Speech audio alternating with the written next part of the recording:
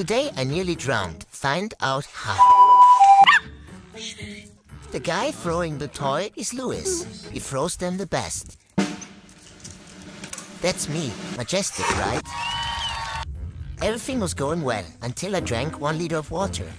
I knew I needed to book a therapy session with my veterinarian for the next day, so I was not in a mood to play anymore. Oh my god. Yes, you saw it correctly. My fur is like silk, wonderful and soft. Aus. Sitz.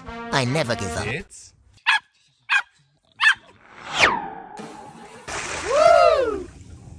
I was so exhausted, but he kept on wanting to play with me. I told him to stop, and then he even tried to hide my toy.